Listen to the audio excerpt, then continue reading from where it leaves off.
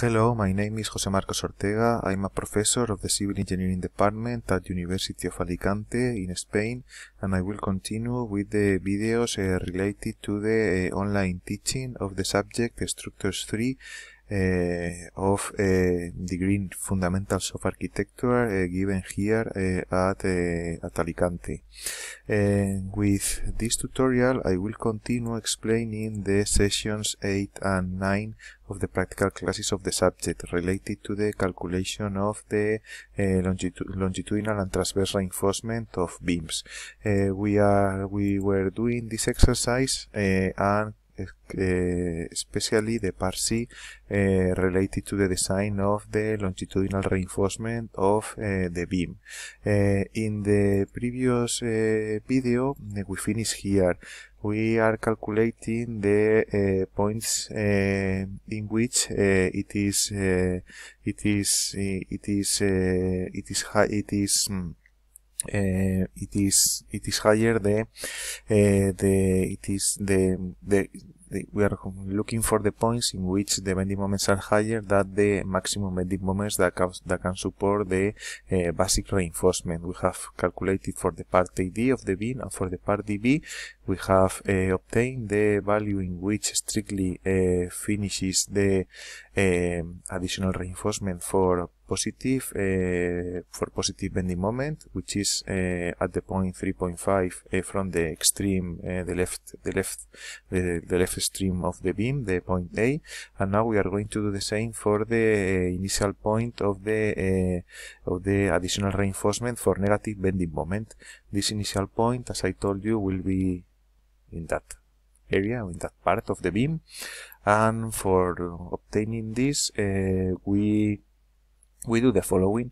Uh, we take uh, from one side the uh, bending moments equation for the part uh, DB and uh, we do that is here equal to the uh, negative value because we are stu studying the the additional reinforcement for negative moments then we put here the minus and the value of the maximum bending moment that can support the base reinforcement, the 56.6. Then if we operate this, this equation, we obtain that the value that the uh, x will be equal to 4.94 meters. Then uh, this mean that, or this means that uh, the point in which the the additional reinforcement for negative bending moments starts is at a distance from from the extreme A, the left stream equal to 4 0.94 meters. Then uh, in this picture it summarizes this. Uh, we have calculated the strictly the point strict in which uh, we'll start the additional reinforcement for positive moments, which was 1.59 from the extreme A, which is this value, and it strictly finish at a distance 3.5, which has obtained in this in this in this calculation and uh, the initial point of the uh, additional reinforcement for negative bending moments is uh, at a distance 4.94 from the stream A for the left left extreme of support of the beam and it was calculated here. In this bay the dimensions are the same because it's symmetrical and then it's not necessary to calculate anything in this in this in this part of the beam. We put the same distance uh, symmetrically. And after that uh, when once arrived to this point uh, I remind you that the EHE code mm, tells us to extend this this we have calculated this for example in this slide will be this this strictly distance. And now the mm, the Spanish code the EHE indicates us that we must extend uh, this additional reinforcement uh, a length, uh, a specific length, okay, and this length is equal to the net anchorage length plus the plus the effective depth. Then it's, necessary from here to here, the additional reinforcement, and we must extend it uh, due to the uh, prescriptions of the Spanish code of, of concrete structures. This is the same. Here now we are going to calculate this distance or this length, uh, total anchorage length, uh, that uh, we must extend this uh, this additional reinforcement. And now we are going to do this uh, in the following in the following calculations. This is indicated here. Uh, however the additional reinforcement uh, must be extended a distance equal to the uh, anchorage length plus uh, a uh, plus plus the effective depth uh, due to the effective depth is added as I told you for considering the effects of interaction between shear force and bending moments and the next step is then to calculate the anchorage length for the positive for the additional reinforcement for a positive bending moment. Uh, I remind you that uh, we explained it in the unit 271 in the unit 271 there is a point uh, related to the anchorage uh, lengths. And the first step is to calculate the basic anchorage length. With the basic anchorage length we calculate the net anchorage length. And after that we add to the net anchorage length the effective depth due to the this interaction between shear force and, and, and bending moment in the in the in the element. And then we are going to do uh, these steps. Uh, the first thing to consider is the position the position of the of the reinforcements. Now if we come back to the solution we start with the uh, positive additional reinforcement with this and this reinforcement is in position 1. I remind you that position 1 is indicated here, has a more higher or a more extended definition, but we talk about that the reinforcement situated in the lower half of the section will be considered as position 1 or position of good bonding.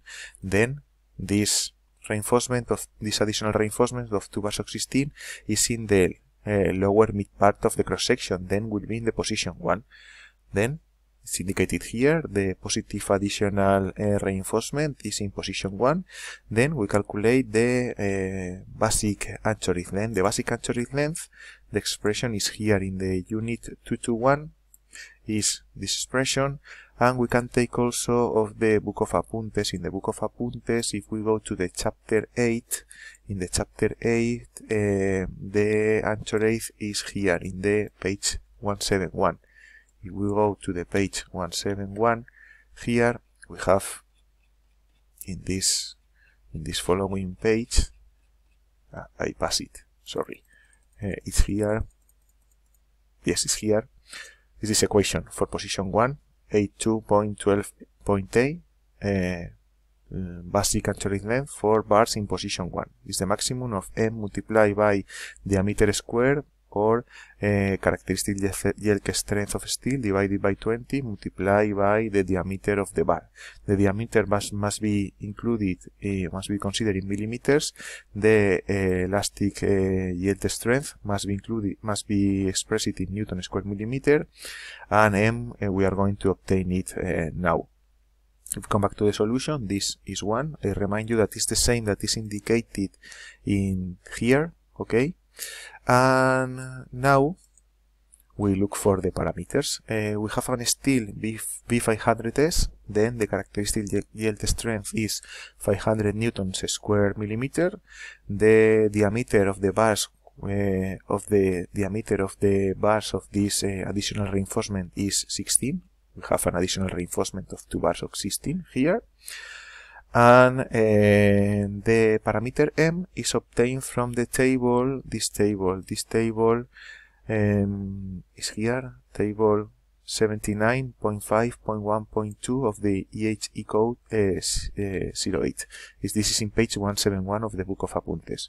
Then here we have a concrete uh, HA35 and uh, steel B500S then for HA35 and B500S we go here here here and the value of a parameter m is 1.2 it's easy to calculate then uh, also here 35 and B500S 1.2 if we go back to the solution then is the value indicated here m is equal to 1.2. Then we replace the different parameters by corresponding numbers. I remind you that the characteristic yield strength must be included in Newton square millimeter and the diameter of the bar eh, must be included in millimeters. Then M is 1.2, uh, the diameter of the bar is 16, uh, the characteristic yield strength is 500, and the diameter is 16. Then if we operate, this is equal to 307.2 millimeters, and this is equal to 400 millimeters. Then the basic anchorage length in position 1 for the uh, reinforcement, uh, the additional reinforcement for positive uh, moments is uh, 400 millimeters. And after that, we must calculate the net anchorage length. The net anchorage length, I remind you, that is here in the book of Apuntes, is in the next page, page 172, is here, equation 8.2.13 and in the in the in the PowerPoint uh, of unit uh, 271 is here in this slide slide 10 we have the expression in this in this point. So uh, we go back to the solution and we start to find parameters LB is the basic anchorage length for this re additional reinforcement is uh, LB in position 1 which we have calculated uh, we have already calculated and it was equal to 400 millimeters. Beta, as I told you, if we go back to the unit 271, uh, the beta depends on the type of anchorage. Here the the anchorage will be in stretch extension. I told you in the theory explanation that generally we have this type of anchorage in our exercises, uh, problems, exams, etc and the reinforcement is in tension so we take the value of beta equal to 1 is indicated here. Beta equal to 1 due to a stride extension. And now we are going to obtain the ACE, uh, AS, uh, AS real and AS by calculation uh, here uh, this is this means the following AS by calculation is the steel that is strictly necessary in the anchorage length uh, by calculation to support the bending moments. And the real uh, AS real is the uh, real the real uh, area of steel that we have uh, arranged in the part of the in the part of the in in the anchorage length distance. If we go back to the to the picture here, if we if we imagine that we have here the anchorage length extension of the additional reinforcement, in this anchorage length, the area which is capable uh, by itself to support the bending moments is the base reinforcement. Okay, only with the base reinforcement will be, will support the bending moments here in this distance uh, in which uh, we in which we are going to, to extend uh, the anchorage length of the base reinforcement of the of the additional reinforcement. But really, what is the what is the reinforcement that we have here? We have the base reinforcement and the extended in the anchorage length distance uh, additional reinforcement. Oh, then the uh, area of steel necessary by calculation to support the bending moments will be the area of 2 bars of 16 and the real uh, area of steel that we have uh, arranged in this part of the anchorage length distance will be 2 bars of 16 plus the additional reinforcement 2 bars of 16. I don't know if I have been capable to explain, but it's very easy. Always the AS by calculation will be the base reinforcement and the AS, the area of steel that we really have arranged is the base reinforcement plus the additional reinforcement in these cases.